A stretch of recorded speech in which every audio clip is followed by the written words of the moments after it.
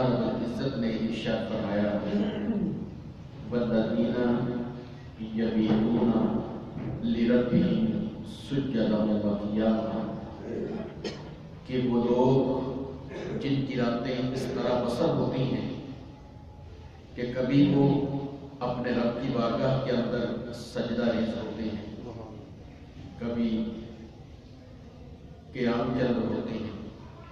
یعنی ان کی ساری رات جو ہے وہ اپنے رب کے حضور عبادت کے اندر ریاضت کے اندر گریا ازاری کے اندر اپنے پروردگار کی رضا کو حاصل کرنے کے لیے ان لوگوں کی ساری کی ساری رات جو ہے وہ اللہ کی یاد میں اللہ کے ذکر میں بسر ہو جاتی ہے۔ والذین یبیتون لربہم اپنے رب کے لیے اور ان کا کوئی مقصد نہیں۔ ان کی ریاضت کا مقصد، ان کی عبادت کا مقصد شہرت نہیں ہوتا۔ ان کے رکوع و قیام، سجود، صدقہ، خیرات، ذکر و اذکار و تسبیحات کا مقصد کوئی دنیا نہیں ہوتا، بلکہ فرمایا لی ربہم، صرف اپنے رب کے لیے مجھے عمل کرتے ہیں۔ ان کا مقصد، ان کی عبادت کا مقصد، ان کے علم کا مقصد، ان کے عمل کا مقصد ان کی زندگی کا مقصد؟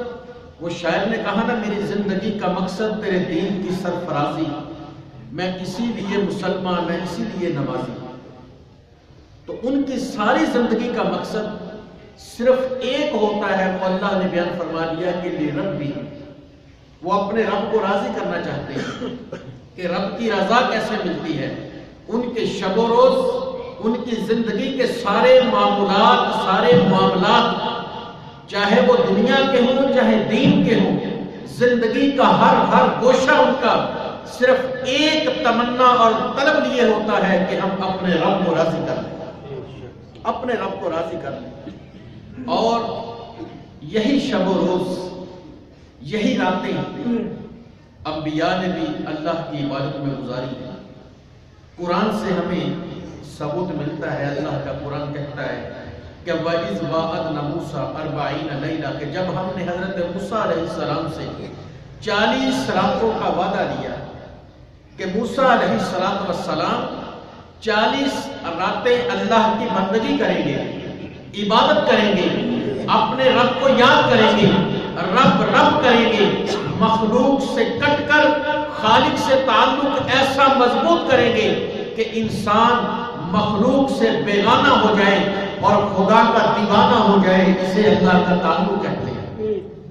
کہ اے موسیٰ، ہم تجھ سے چالیس راتوں کا وعدہ لیتے ہیں۔ تو حضرت موسیٰ علیہ السلام نے چالیس راتیں جسے ہم چلا کشی کہہ لیتے ہیں، جسے ہم عام عرف عام میں چالیسواں کہہ لیتے ہیں۔ وہ چالیس راتیں یا چالیسواں یا چلا وہ ریاضتیں، وہ مجاہدے وہ زہد، وہ تقوی، وہ خدا کی بارگاہ میں پیشانی کو سر کو جھکانا انبیاء کرام کا معمول رہا ہے۔ اور حضرت موسیٰ علیہ السلام سے جو چالیس راتوں کا وعدہ لیا گیا، اللہ کے کریم حضرت موسیٰ علیہ السلام جو چالیس رات تک اپنے رب کی بارگاہ کے اندر اپنا مسلح بچھائے رہے، بستر کو چھوڑ کر سر کو سجدے میں رکھ کے رب رب کرتے رہے اس کا مقصد بھی صرف ایک تھا کہ اپنے رب کو راضی کر۔ آج تو چلے کے چلا کرنے کے، ریاضتوں کے، مجاہدوں کے، یہ جو زہد اور تقوی ہوتے ہیں، آج تو ان کے بہت سارے معیار بدل گئے۔ بہت سارے لوگ چلے اس لیے کرتے ہیں۔ چلے اس لیے کرتے ہیں کہ ہم نے جناب کو جن پکڑنا ہے۔ بہت سارے لوگوں کو آپ جانتے ہوں گے۔